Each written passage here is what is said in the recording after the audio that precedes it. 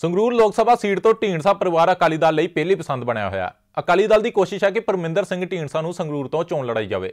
ਇਸੇ ਵਿਚਾਲੇ ਅੱਜ ਵਿਕਰਮ ਮਜੀਠੀਆ ਸੰਗਰੂਰ ਪਹੁੰਚੇ, ਜਿਨ੍ਹਾਂ ਨੇ ਕਿਹਾ ਕਿ ਉਹਨਾਂ ਨੂੰ ਦਿਲੋਂ ਖੁਸ਼ੀ ਹੋਵੇਗੀ ਜੇਕਰ ਪਰਮਿੰਦਰ ਸਿੰਘ ਢੀਂਡਸਾ ਸੰਗਰੂਰ ਤੋਂ ਚੋਣ ਲੜਦੇ ਨੇ। ਸੰਗਰੂਰ ਦੀ ਟਿਕਟ ਨੂੰ ਲੈ ਕੇ ਅਸਮੰਜਸ 'ਚ ਪਏ ਅਕਾਲੀ ਦਲ ਵੱਲੋਂ ਲਗਾਤਾਰ ਪਰਮਿੰਦਰ ਸਿੰਘ ਢੀਂਡਸਾ ਦੇ ਨਾਂ ਦੀ ਵਕਾਲਤ ਕੀਤੀ ਜਾ ਰਹੀ ਹੈ। ਸੰਗਰੂਰ ਪਹੁੰਚੇ ਅਕਾਲੀ ਦਲ ਦੇ ਸੀਨੀਅਰ ਲੀਡਰ ਵਿਕਰਮ ਸਿੰਘ ਮਜੀਠੀਆ ਨੇ ਕਿਹਾ, ਜੇਕਰ ਸੰਗਰੂਰ ਤੋਂ ਪਰਮਿੰਦਰ ਸਿੰਘ ਢੀਂਡਸਾ ਨੂੰ ਸੀਟ ਦਿੱਤੀ ਜਾਂਦੀ ਹੈ, ਤਾਂ ਉੱਥੇ ਲੋਕਾਂ ਦੀ ਖੁਸ਼ਕਿਸਮਤੀ ਹੋਵੇਗੀ। ਇਸ ਦੇ ਨਾਲ ਹੀ ਮਜੀਠੀਆ ਨੇ ਭਗਵੰਤ ਮਾਨ ਨੂੰ ਲਾਲ ਪਰੀ ਵਾਲਾ ਕਹਿ ਕੇ ਖੂਬ ਤੰਜ ਕਸੇ। ਮਗਰ ਮੇਰਾ ਇਹ ਮੰਨਣਾ ਕਿ ਸੰਗਰੂਰ 'ਚ ਅੱਜ ਮੈਂ ਆਪ ਦੀ ਦਿਲ ਦੀ ਗੱਲ ਕਹਿਣ ਲੱਗਿਆ।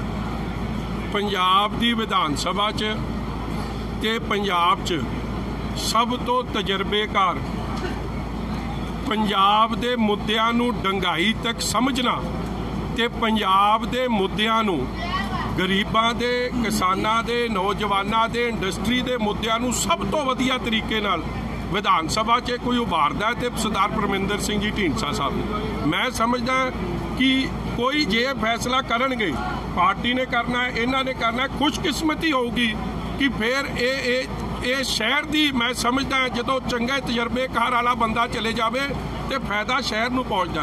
ਬਾਕੀ ਤਾਂ ਲਾਲ ਵਾਲਾ ਗਿਆ ਹੀ ਆ, ਉਹਨੇ ਕੀ ਕਰਕੇ ਦਿੱਤਾ? ਦੱਸ ਦਈਏ ਕਿ ਅਕਾਲੀ ਦਲ ਵੱਲੋਂ ਸੁਖਦੇਵ ਸਿੰਘ ਢੀਂਡਸਾ ਦੇ ਬੇਟੇ ਪਰਮਿੰਦਰ ਸਿੰਘ ਢੀਂਡਸਾ ਨੂੰ ਸੰਗਰੂਰ ਤੋਂ ਚੋਣ ਲੜਾਉਣ ਦੀ ਕੋਸ਼ਿਸ਼ ਚੱਲ ਰਹੀ ਹੈ। ਪਰ ਢੀਂਡਸਾ ਪਰਿਵਾਰ ਵੱਲੋਂ ਅਜੇ ਟਿਕਟ ਲਈ ਕੋਈ ਵੀ ਐਲਾਨ ਨਹੀਂ ਕੀਤਾ ਗਿਆ। ਤੇ ਇਸੇ ਵਿਚਾਲੇ ਵਿਕਰਮ ਮਜੀਠੀਆ ਵੀ ਵਰਕਰਾਂ 'ਚ ਜੋਸ਼ ਭਰਨ ਲਈ ਸੰਗਰੂਰ ਪਹੁੰਚੇ ਹੋਏ ਸੀ। ਸੰਗਰੂਰ ਤੋਂ ਸੰਜੇ ਤੰਜਸ ਦੀ ਰਿਪੋਰਟ, ਦੈਨਿਕ ਸਵੇਰਾ ਟੀਵੀ।